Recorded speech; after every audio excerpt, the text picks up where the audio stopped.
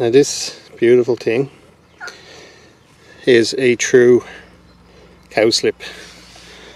So it's not a false oxlip, it's an actual true cowslip. And it has very dinky little flowers, they never open fully. The false oxlip flowers will open wide, but not on the little cowslip. The cowslip is now one of the rarest plants in the British Isles anyway. The British Isles of course being geographical term, so don't get upset about that. Ireland is the second of the big islands. Great, Great Britain is the other island. So here is the cowslip.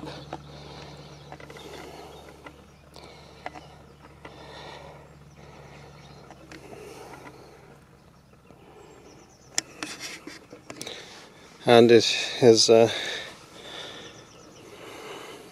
it's beautiful. It it's not it's very it always grows very tall, like proportionally. But it never spreads out much. The leaves are kind of low.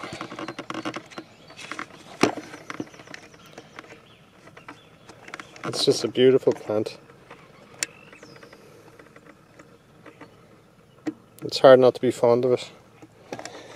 Uh, I this plant somebody actually had a meadow and they had cowslips growing on it and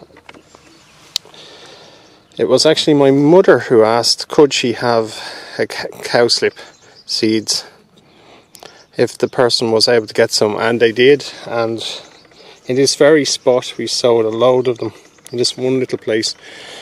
And soon they spread out around the garden, and they they started to crossbreed with the with the uh, primrose, the very closely related primrose, and produce different variations.